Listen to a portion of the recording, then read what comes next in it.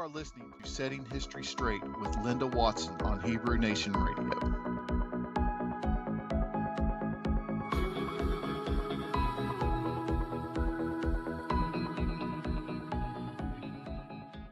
Okay, so this program is going to be on Abraham's promises. And so, what was it that Abraham was promised? So, we're going to cover that today. So, we know that it talks about how Abraham, his descendants were to be like the stars in the heavens. They would be so many descendants, they would be like the stars in the heavens. So we're going to talk about that. Now, let's just go through this, go through a little bit more detail on the story of Lot and Abraham. So uh, I think there's some things that we've missed.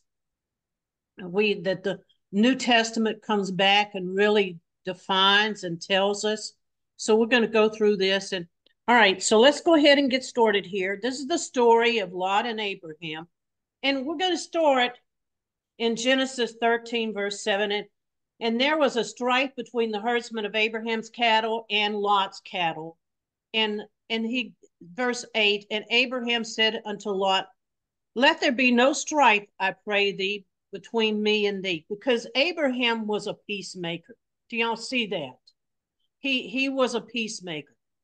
And scripture talks specifically to people that are peacemakers. And between my herdsman and thy herdsman, for we are brothers. Okay, verse 9. Is not the whole land before thee?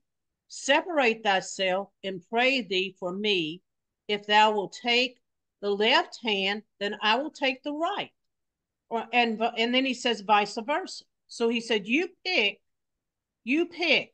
You either take the right side because we have a lot of land, and I'll take the left side. So verse 10 and Lot lifted up his eyes and behold all the plains of the Jordan, which were well watered everywhere before the Lord destroyed Sodom and Gomorrah, even as the garden of the Lord, like the land of Egypt, as they come to Zoar. So around Zoar is somewhere where he, he went in. And we're told that the city of Zoar was a city of, of palm trees, which is another significant thing in scripture. Going on in verse 13, 13, chapter 13, verse 11, and Lot chose him all the plains of the Jordan, and Lot journeyed east. Now, make sure that you pay attention to what this is saying because he went east. He went east and and thou separate thyself from the others. So when Abraham told him, when you go east or west, I'm going to go the opposite direction so we can separate ourselves. So that would have put Abraham where? In the west. Okay, so going on. So you can see this map here. So Lot went on the east side his pastures were on the east side. Abraham's pastures in Canaan were on the west side. Can y'all see that? Now watch. I'm going to talk about this. Now it's that is a parallel to what happened really and truly in this world because the Christian nations went west and and Lot and his descendants basically went east and we're going to talk about what that means okay but if I was to take and divide the world down the middle, then on the west side of the Western world, you would have the Christian nations. And on the eastern side, you have Buddha, Hindus, and all the other different things that don't believe in the Messiah. Do y'all understand? One side does, one side doesn't. All right, now, uh, I'm going to turn this part over to Adam to explain. Galatians 4, verse 22. Adam? So um, this actually corresponds best with Genesis 15. Uh, but I think the point here, when we go through it, uh, Paul is trying to tell us that Abraham's two sons, uh, one with Hagar, one with Sarah, is is an allegory. It's a symbolism of what's actually going to be happening with his descendants and the two covenants. And so when we get into uh, uh, Genesis 15, you need to have this scripture in mind. So let's just go over and read it real quick. For it is written that Abraham had two sons, one by a bondmaid, the other by a free woman. But he who was of the bondwoman was born after the flesh, but he of the free woman was by promise. And there's this difference between the flesh and the promise throughout Paul's uh, writing. He also gets on this same topic in Romans 9. I'd encourage you to go check it out. Uh, we're not going to cover it in this. I don't think we're going to cover that in this uh, teaching, but he does talk about the difference between the children of the flesh and the children of promise. Uh, now, anyways, keep going here. He says, look, these are an allegory, for these are the two covenants, the first and the second, what we call the old and the new covenant, right? The new covenant's in Messiah as the mediator there, the old covenant under Moses. And he, he's very clear that he distinguishes exactly which one is uh, of Hagar. And here it says Agar instead of Hagar, but it says the one from Mount Sinai, which gendereth to bondage, that's the one from Hagar. So the the symbolism here in Genesis 15, which we'll get to, is is you need to understand this this symbolism when you're reading that chapter and also the next chapter. But anyway, he goes on to say Hagar represents Mount Sinai in Arabia. So he's actually being geographically minded too. He's talking about a people, a time frame, and also a geography. That's why he said in Arabia, as in the Middle East, as in he's clarifying that one is uh, uh, the the first uh, Hagar's son corresponds to uh, the first covenant, which was in the Middle East. And of course, then he distinguished it from the second, which is, but the one that we answer, and that's the one they answered to uh, at that time when he was writing that, but we answer to the Jerusalem, which is from above, which is free, and the mother of us all. So I think just the point I want to make here is you have to understand uh, Abraham's uh, the story of his uh, his effort to have an heir uh, in light of what Paul is informing us uh, about right here. He's trying to tell us what it was really, what symbolism and what prophetic nature was in that story in Genesis 15. Yes, yes. And so this is also, I see this as in another way, also another another thought on this is that there was two promised lands. Hmm, and one the first one was the the former, which is the one that was in the Middle East. And then there was the one that was the latter, which is in this country. And so, you yeah, know, and, I think you, yep. you can, I actually see that go, that being talked about and discussed right here too, because there was two separate covenants, I believe, and I know not everybody agrees with me, but the first covenant was with Moses. And I think the second covenant is our constitution. And, you know, I, I, I look at that because I really see how they use the scriptures to, to build a government.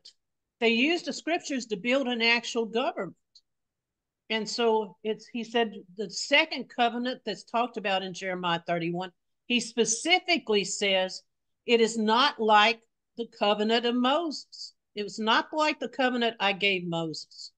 So I, I can actually see it from what I'm trying to explain here that he is talking about two different covenants. And I, I believe that he's talking about our constitution as being the second one. Now I know that's I'm taking a little lean leeway here, but I think we can build that case as we go through. Oh, thank you, Adam. All right, so mm-hmm. uh, this is the next piece. If you want to go over this, yeah, part. we can we yeah we we can go ahead. I mean, yeah. So he elaborates on this whole analogy. For it is written, Rejoice, thou barren that bearest not, break forth and cry, thou that travailest not, for the desolate hath many more children than she which hath an husband. Now, I, am going to stop here and just, I'm going to pause it here. Uh, the barren is making reference to that woman that we keep referencing that she's going to eventually give birth to a nation, right? And that yes. and, and the scripture indicates that this happens right before she has to flee into the wilderness. She gives birth to that nation. Um, I also think she gives birth to a king because uh, it says a man child is born and taken up into heaven. That's a side note, but it's something. There's a lot of scripture that talk about this, and we've covered them uh, ad nauseum. but it also, and so it's making reference, what we believe is to that. It's talking about, he, thou that travailest not. Well, until she does travail, right? And that's that's what we've read a lot of scriptures talking about at the time that she travails is when her pain is going to come after she's given birth. So she's been she's been barren up to this point, but uh, it's in my I wholeheartedly believe it's underway now, but that a spiritual nation of believers is going to be born, the likes of which we've never seen in this country, and it's going to happen this year. That's what I believe at this point. Uh, but also it says, for the desolate hath many more. Why does it call the desolate? Because that's what's about to happen to Babylon. Babylon is about to be made desolate. Right? Uh, you can go back to Jeremiah 50, I think it's around verse 12. He says that the hindermost of the nations, uh, which is the last in time, that's what that word hindermost means, that that it will become a, a wilderness, a dry place, and a desert. And I think it also says it shall be made desolate. There's several yes. places in Jeremiah that talked about it. So I'm quite sure that's what this is referencing, uh, contrasting the two. Uh, we can we can move move on for the sake of okay to the all other right. point. So, um, all right, so that's great. So thank you very much. I think that explains a, a lot here. And remember, the barren woman is the one that's talked about in Isaiah 54. It says, "Open up your tents, O barren woman, because you're going to have children." And uh, so he's really talking about a spiritual revival that that takes place. And and, and we won't even ha- have to know that it happens because you know the father is working with people all over the country and the world. And so we won't really have to know that it's actually happening but i think he's going to do it. And so it, it, talks about how he gives birth the, the woman gives birth her pains come be uh, after she gives birth which you know this that's talking basically about a nation being born i believe too. So now we're going to get to genesis 15 this is what adam was making reference to but there's a lot in here that we want to cover. And so this is the only place that i found in scripture that talks about abraham abraham having a vision i searched for the word vision and i didn't find it anywhere else so as far as i know that's the only place is in this chapter that he had a vision. And after these things, the word of Yah came unto Abraham in a vision. Now, a vision is different than a dream because he's actually going to have a conversation with the Father in this vision. And you're going to see that saying, Fear not, Abraham, for I am thy shield and thy exceeding great reward. So he's going to give him a reward, he says. And Abraham says to the father, What will thou give me, seeing I'm childless? And, and he goes on, verse thir- 3 And Abraham said, Behold, to me thou hast given no seed, and lo, one born in my house is my is my heir. So he's referencing Ishmael here. He's referencing Ishmael. That you know, well, I do have a child, but you know, I um I haven't he's not my heir through Sarah. And that's what he's really explaining to the father. And behold, the word came unto me, saying, This shall not be thy heir, but he that shall come forth out of the, thy bowels shall be thy heir. So he's referencing here Isaac. Now, verse 15, verse 5. And he brought him forth abroad and said, Look now toward heaven and toward the and tell the stars, if thou will be able to number them. And he said unto him, So shall thy seed be. So when I read this verse, and I think the translators that were translating use the word abroad here, is it's maybe possible that, and I don't know that for a fact, that he brought Abraham to this land in a vision, but he may not have. But he did give him a vision that the New Testament talks about. And it says, You mm. I saw your day, and and he was Abraham saw your day and he was glad. Now he was the Messiah was talking to the Pharisees at that point, So I think he showed Abraham quite a few things that was going to happen in the future. But the reference of saying, look, go outside, look at the stars, and that's what your descendants are going to be. Do you, everybody knows that we have 360 million people in this country. And if you were to go out and look at the stars, that's what it would look like. That's what it would look like. 360 million people looking up at that stars. That's what it would look like. So, in, in a way, he's really referencing the that America, I believe, he's in. This is one example of him pulling in a reference to America here because she she would have been the only place that would have had that many people in it. Do y'all understand that? That were of the tribes of Israel. Because in the Middle East, they did not have those large numbers. Now, when they started out, they they were in the millions, yes. And and we know that David could put a million men on the battlefield. So there there was large numbers around the time of David and Solomon, but not not anything like 360 million that we have here. Now realize not everybody in this country is is of the seed of Abraham, but still that's a, a huge amount of people. And I think this is what it's referencing. And it's also just not just referencing it, it's, it's also a little prophecy playing out in this scripture right here also where he says if thou will be able to number them and he said unto him so shall thy seed be so i think at this point there's a strong possibility that abraham may have actually had a vision and see this country now i know that's a little bit of a stretch but i think it's very much possible that he saw that in a vision and he believed in Yah, and he counted it to him for righteousness. So he believed in Yah. So he his belief, his trust that he had for for the Father, the Father counted to him as righteousness. So you know we talked about that last week with Terry and Neil, and they read those verses to us about you know your intent of your heart and so this is the same principle here that, you know, you, the intention of your heart gives you, it, the Father views you as righteous. Okay, now we're getting to 15 verse 8. Uh, anybody want to make a comment? I haven't paused long um, enough for y'all to comment. Linda, I, I want to point out that the re- we're going to get to it. If you go, you're going to cover the whole chapter, or yeah, I am.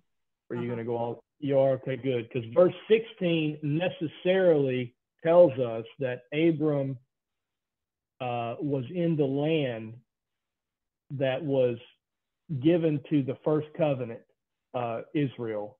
Right. It will allow. It will show us that. And so what what that means is that's where he was at at the time of this vision, because he's you know we're going to cover that. But so I just want to point out that when it says go abroad, go outside of from where they were at uh, necessarily means it was not the place of the first covenant land promise. So yes, verse. 8, and he said, Yah, where whereby shall I know that I shall inherit? So how do I know that I'm really going to inherit and that I'm going to have so many descendants that I look up at the stars and they they will be the same type of, of numbers. And he says, Well, this is what I want you to do, Abraham. He started at verse 9 and he gave instructions for creating a, a uh, sacrifice, right? And we're going to drop down to verse 12 now. And when the sun had gone down, a deep sleep fell on Abraham, and lo, a horror of a darkness fell upon him. And now he's now he's actually in a deep sleep and he's having a dream. Do y'all see this? And so, and, and at this point, this is when the father and probably the son both walk through walk through the pieces. And there's a whole long explanation about walking through the pieces because Abraham was fulfilling was was making a covenant with the Father, but the fulfillment was being done by the Messiah himself. So he was the one that was actually fulfilling this covenant. And he said unto Abraham, Surely, know you surely that thy seed shall be strangers in the land that is not theirs, and they shall serve them, and they shall be afflicted for 400 years. This is talking about the land of Canaan. We all know this, and how the Israelites would go into Egypt, and then they would eventually go into the land of Canaan. And verse 15, and thou shalt go to the fathers, your father in peace. So he's telling Abraham, you're going to die, and thou shalt be buried in a good old age. But in the sixth, verse 16, but in the fourth generation, they shall come hither again, for the iniquity of the Amorites is not yet full. So he didn't get, really give Abraham, from what you can read here, like land at that point, but he said your descendants are going to get it.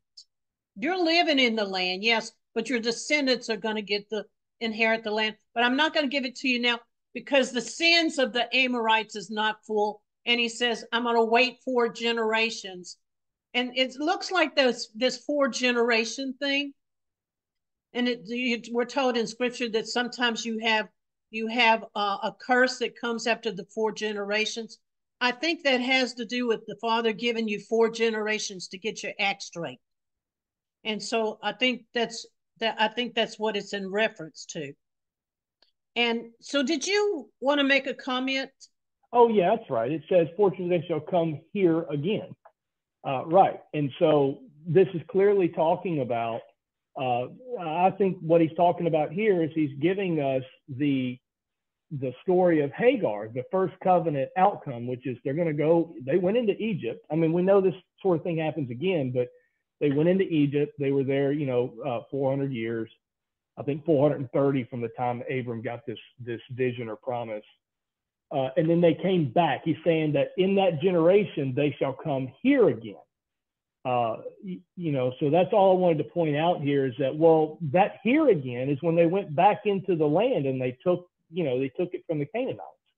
Right. So um, it, it indicates it just indicates where Abram was when he had this vision, and that that's all. The only point I was trying to make there was, um, you know, is that it, it necessarily means that when he says he took him abroad, it was somewhere other than where the first covenant land was at, because he was that's where he was at when the vision happened. That's Right. what I wanted to point out. Okay, great. So verse 17, and it came to pass when the sun went down and it was dark, behold, a smoky furnace and a burning lamp passed between those pieces. Now that's two elements. So that's why we believe it was probably the father, you know, and the son that both walked through that covenant, right through that sacrifice, you know, and fulfilled it. All right, verse 15, verse 18, I mean 15, verse 18. And at the day the Lord made a covenant with Abraham, saying, Unto thy seed have, have I given this land. So the land that he was in, which was the land of Canaan, he said, I'm going to give it to your seed. He didn't say, I'm going to give it to you, Abraham, but I'm going to give it to your seed. Now, notice that uh, from the river in Egypt into the great rivers and then the rivers Euphrates. So he was gonna he was even telling him at that point yeah you're gonna inherit your seed is gonna her- inherit this land. And that's where the scripture comes back and says i'm gonna plant in the east and i'm gonna reap in the west. Do y'all see that? And so um let's go on here. Now this is why these people when they were writing in the New Testament, came back and explained more detail here. And, and this is that verse in Acts 7, verse 5. And it and he gave them none inheritance in it. He's talking about, and he gave him none inheritance in it. The Abraham didn't get an inheritance in the land. He he never had he only went and bought the land from Sarah, which we're gonna for Sarah's burial, which we're gonna talk about. No, not so much as to set his foot on it. So this is a different land that he doesn't set his foot on. So the land that Abraham that Abraham was looking for, and we're going to prove that to you, had to be America. I'm going to prove it to you. Now, I'm going to show you the scriptures that actually say it. And it says, He gave him non inheritance in it, no, not such so much as to set his foot on it. He set his foot on the land of Canaan. So he's not talking about that land. Now, everybody says, well, he's talking about in the future when the millennium gets here. Well, if that's the case and they're going to set it up in Jerusalem, Abraham set his feet on that land also. Do y'all understand that? So he's yeah. talking about specifically about a different place that Abraham never put his foot on. I mean, it's no other way you can read that. It's it's easy to hey, see. Linda, mm-hmm. Linda, we did you have verse four by chance? Well, let me. Yeah, I'm gonna I'm gonna speak to it because it, it it absolutely just definitively says so in verse four. The way you're understanding this, somebody says, then he came out of the land of the Chaldeans and dwelt in Charan, from and from thence when his father was dead, talking about Abraham, okay, uh, he removed him into this land wherein ye now dwell. So he says in verse four, before he says that he never gave, uh, received that inheritance, didn't even set his foot on it, um, which which tells me, uh, you know, I think he's actually trying to say that Stephen was saying that to to get us to think, well, how did Abraham see it if he never stepped foot on it? and that's that's where you start going to well it's probably like he did with the prophets where he take them up by the spirit and show them a vision and yep. so it's it's amazing how like he intentionally sets you he puts you in that direction to start thinking that way it's like because that's a question you would want to ask yourself like well if you never stepped foot on it then how did he even know it or see it or you know to, to know what to look for and so anyways uh, that was just a little side note but he says right in verse four that Abraham removed his father, when his father died, he brought his body and buried him in this land where we're, we're now at having this discussion. That's in verse 4. So, right. Right. Necessary, that proves that Acts 5, uh, 7 5 cannot be talking about the Middle East. It can't be. No, it's not. So, it, it and it's going to, there's more proof. So let's just go through it here.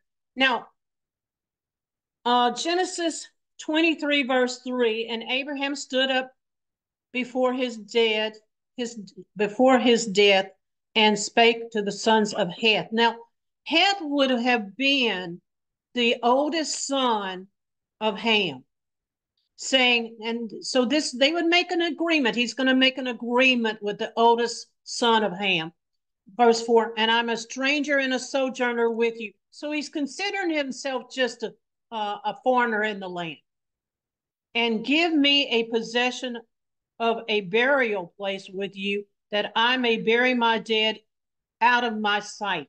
He's talking about Sarah, who had just passed away, and he wanted to buy some land so he could bury Sarah. Does everybody see that? And he said, I'm just a sojourner, I'm a stranger in your land. And the children of Heth answered Abraham. Now, watch what he said here.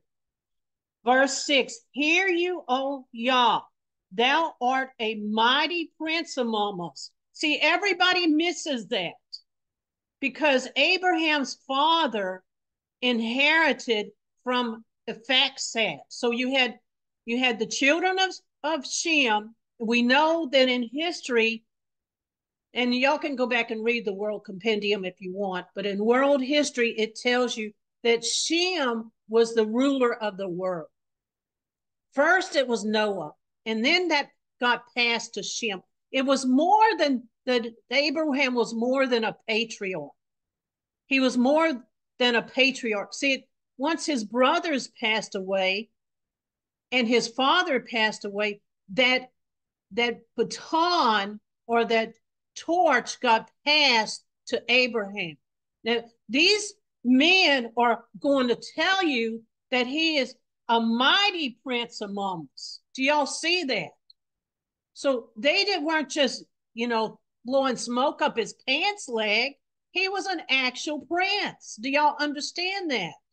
He didn't have a kingship there, but he they knew he was from the line of Shem. They knew that line came through a Arphaxad, and and that Abraham was the, the last descendant in that family. So he was he was the one that actually was the patriarch or considered the world leader. See, this this um Melchizedek is bigger than what most people think. Melchizedek was not just, you know, somebody that sacrificed uh, you know, sacrifices. That that's not who he was. He was coming from the world ruling side of the house. And scripture backs that up, and right here, and history backs it up. And Berosus, who wrote in the fourth century, also brought this out that Abraham was a was a uh, a prince from a royal line. All right, so interesting. And his in his choice of his scepter, buried thy dead, none of you shall withhold from the his scepter, but they may bury their dead. So Abraham uh, stood up and bowed himself toward the land and, and to the children of Heth. So he was showing reverence to them because they said, Yes, we'll let you bury Sarah here. And now this is this is the whole thing. That what I read to you proves that Abraham didn't have land. He had to go buy land to bury Sarah. Do y'all see that? Abraham had to go buy land to be able to bury Sarah. If he had land in there, he could have just, you know, buried Sarah without any thought. But this this proves that he didn't own the land. It wasn't his inheritance. It would be his children's inheritance after the Amorites had been taken care of. All right, now we're going to go here to Hebrews 11, verse 8. And by faith, Abraham, when he was called to go out into a place which he shall after receive for an inheritance, obeyed, and he went out, knowing whither he went. Now, verse 9 by faith he sojourned into the land of promise. So that was a little, that was a promised land. But even though it's a promised land, the land Canaan never did take on the land of Israel as a name. You can go through scripture and see that. When Jeroboam and Rehoboam split, the northern house, house was called the house of Israel, the southern house was called the house of Judah. Okay, so, and it designated the two peoples, but not the land. The land itself in Canaan was never called the land of Israel. And, and, and it's just amazing. And and you know, I can get off on that subject, but let's just stay. By faith, he sojourned into the land of promise as in a strange country, dwelling in tabernacles. He was dwelling in tents for Isaac and Jacob, the heirs of him of the same promise. Now, look at this verse in verse 10 and he looked for a city which had foundations, whose builder and maker is Yah. So uh, he's looking for a city, and that word you can look it up. It, it can mean city, town, um, and it can also mean a nation. He's looking for a city. He dwelt in tents because he was looking for a city whose foundation and builder and was Yah. That is the kingdom of God. Okay, so that's talking about he was looking for the kingdom of God. He that's why he stayed in tents. Do y'all see that? And so, but it, that kingdom of God, the forerunner for that was America. And so that's why it's so significant. What he's saying here is that he was really looking for this this land that we live in because that's going to be where the kingdom is set up and I'm going to prove it to you. All right, so Micah 4 verse 1, and in the last days it comes to pass that the mountain which we know means government of the house of God shall be established in the top of the mountains. The top of the mountains is the top of the government. We know that word mountain means government because we can go back to Revelations chapter 17 and it talks about five have fallen, one is, and two are to come. Those are governments. Five governments had fallen. The one that was was Rome, and two more were to come. So that we understood from Rome, from Revelation 17, it's talking about governments. So right here it's telling you in the last days it shall come to pass that the mountain of of the Lord, his government is going to be set up in the top of the mountains. And guess who is at the top of the mountains? America is. She is the, she is still, even as corrupt as she is now, she is still the top of the mountain. She is the greatest nation in the world and the greatest nation that's ever existed. And that's just a fact, and you can't get around it, no way and it shall be exalted above the hills, that's smaller governments, and people shall flow unto it. Now, even looking at this right now, you see that the people are flowing through that southern border like crazy. Going on, verse 2 and many nations, now this gets into more detail, and many nations shall come and say, Let us go up into the mountain of the Lord, Yah. So this is a more of a futuristic verse here. This is more futuristic. And to the house of the of God of Jacob, and he will teach us his ways, and he will walk in his paths. For the law shall go forth out of Zion, and the word of, of the Lord from Jerusalem. Meaning, this place, which is the top of the mountains, is also Jerusalem. It, you can't get around these verses because we are the nation at the end time that's at the top of the mountains. You can't get around it. Abraham must have seen this. All right, going on verse 3 and he shall judge. So the judgment's going to come out from this nation, and he will judge among many people and rebuke strong nations afar off and shall beat their swords. And then you know the rest of this beat their swords into plowshares and their spears and the pruning hooks, and the nations shall not live up sword against nation anymore. And so that's basically telling you about what's going to happen in the millennium. That, but what people don't get is it's telling you right here that the government seat is going to be in America. She's going to be the one that's judging the large amounts of people, and she's going to be the where the Father sets up his government. So when you go back and read what we just read in Hebrews 11, and he says Abraham was looking for a city, he must have known that this was going to happen because the Father showed him in the sky. Uh, he said, This is the way your descendants are going to be. They're going to be a huge, huge number of people. And we are the largest Israelite country on the face of the earth with 360 million people.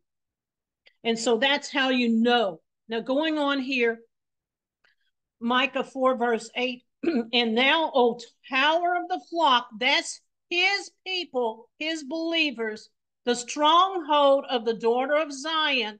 So we're the, the stronghold because if we weren't here, he said he would have burned it down to the ground like Sodom and Gomorrah and unto thee shall come the first dominion. The very first dominion comes here. The kingdom shall come to the daughter descendants of Jerusalem, not Jerusalem in the Middle East, the descendants of Jerusalem. That's why it says you reap in the east, I mean, you plant in the east and you're going to reap in the west. The harvest comes here. And Ephraim, who this nation is playing the role of, it says, Ephraim is my firstborn. So we have to be the first ones that come on the line, and, and we're going to be the first ones to be punished. You can actually see that that was set up way back then when they had the 13 colonies. So let's, can we go out? Can we go on now verse 13? This is Hebrews 11, verse 13. Um, these all died in faith, not receiving the promises, more than one, promises, okay, ha- but having seen them afar off. So, in other words, they either had a vision where they saw it far off. Do y'all see what this is saying? Having seen them afar off. And so they they must have had a vision seeing some of the promises that uh, that the father had given to Abraham and some of the other people too that are mentioned here and were persuaded of them embraced them and confessed that they were strangers and pilgrims in the land. They we're just foreigners living here. That's what they were saying. We're just foreigners living here. Going on verse 14 and they that say such things declare plainly that they seek to what? A country. What did they seek? They seeked a country. And I'm not going to give you two chances on this one. There's only one country they would be seeking for. And that's this one. And verse 15, and truly, if they had been mindful of that country whence they came out of, they might have had the opportunity to return. Now, verse 16, but now they desire a better country, that is a heavenly, therefore, the Father is not ashamed to call them their God. And he, all right, and he prepared, and he prepared for them a city. Now that is talking about the kingdom of God. Yes, I do understand that that's talking about a country, a kingdom of God, but it's saying that a kingdom of God is a country. Now, when you read scripture, it tells you that the people will come from the north, the south, the east, and west to come into the kingdom. And that's what it says. So it's a physical place on the face of the earth. And right here it says, He called them their God and He prepared them for a city. The city and the country, do y'all see? He's using simultaneously here. Adam, do you want to make any comments? I've got a brand new one to make. so, you want to wait? Discovered or... it literally. No, because I want it while it's still relevant to this this uh, slide. So that word country, um, you know, I'm, I'm going to dig down into this. I'm not, you know, of course it means a native country, a fatherland, which I also I've always thought was interesting because the land that uh, of God is called the fatherland, and the antithesis of that, uh, Russia calls theirs motherland. I just thought that was interesting, but that's not what I wanted to share. What I wanted to share was even more interesting than that. When you drill down to the Greek um, root word for for the word there for country. Uh, the, the root word is G3902. And I, one of the definitions, it says this, marked with a sign. So it's something that's marked with a sign. And immediately what came to mind for me was the Aleph that literally is being in, uh, uh, written over this nation with what? Signs. Signs from the sky, so like it literally says the root word for that word country is is a place that's marked with a sign.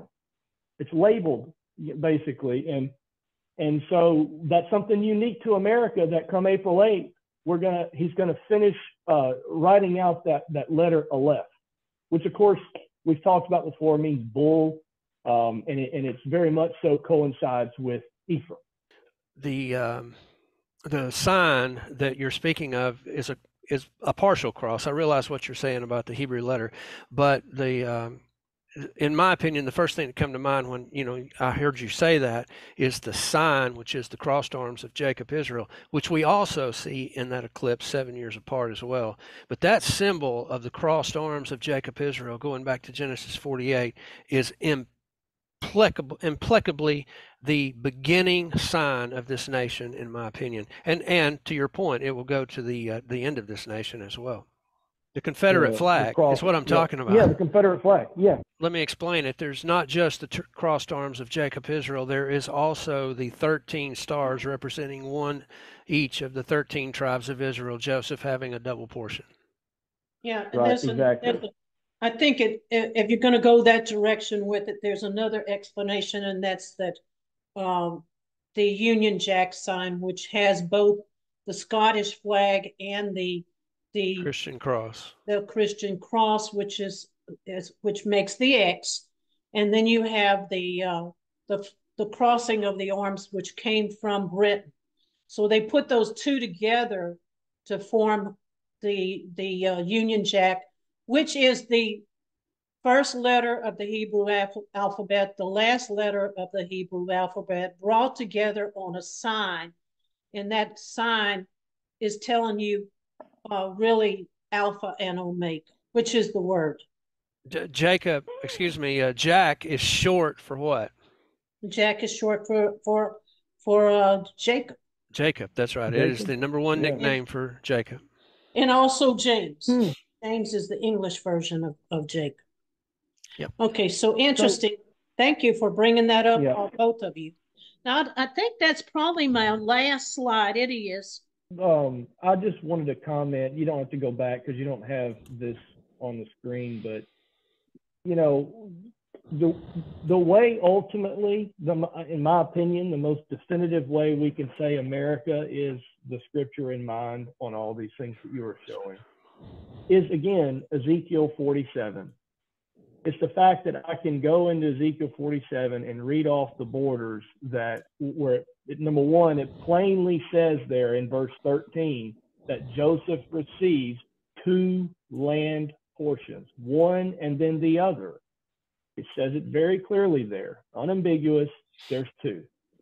Okay. And then it goes into describing the borders of the second one. How do I know it's the borders of the second one? Because it fits perfectly like a glove with America. And there's no way around this. Like it gives descriptions, geographic features that are non existent in the Middle East, period.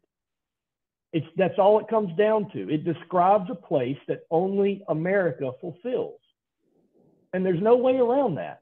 In my opinion, there's not. Like, where are you going to find another place that has a large river that runs down and dumps into a great sea with a water of strife where it's like a dividing line of muddy waters and blue uh, salt waters and and the area no less is called by the name that's in the scripture kadesh and it describes the place that fits perfectly new orleans and you know and all the other things right and i guess what i'm trying to get at here is that at the end of the day we actually have smoking gun proof that the scriptures speak of uh, a place geographically that only America fulfills in this world.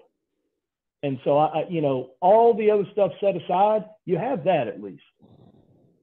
And so I just you think know, it's and, interesting because I believe that, you know, the father had to either explain to Abraham, because, you know, because of that verse that said, he saw our time and he and he said and he was glad. And I, know they relate that to the time at that point but i think it was something that the father showed in a vision what was going to happen with israel throughout her history. And so i think he definitely did talk about america because he kept saying he was looking for a country he was looking for a country so how interesting is that and it says they never took possession or set foot on.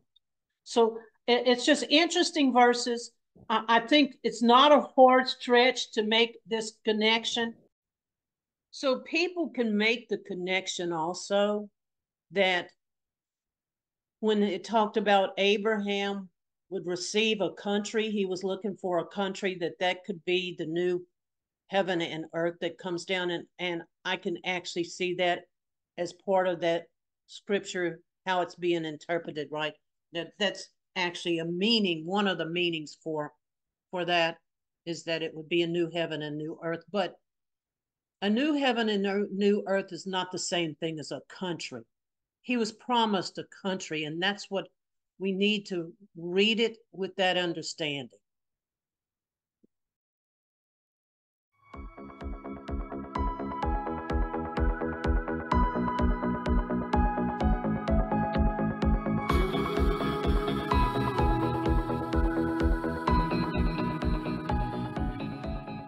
For more information about this broadcast, please visit our website at www.12tribehistory.com. That is the number 12, tribehistory.com, or email us at lwatson44 at cox.net with any questions or comments.